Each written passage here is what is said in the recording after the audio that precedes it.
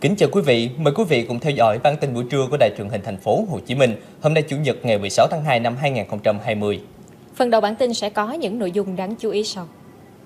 Công ty trách nhiệm hữu hạn Oriflame Việt Nam mới đây đã được Cục Cạnh tranh và Bảo vệ người tiêu dùng cấp phép kinh doanh các sản phẩm mang thương hiệu Oriflame bằng hình thức bán hàng trực tiếp.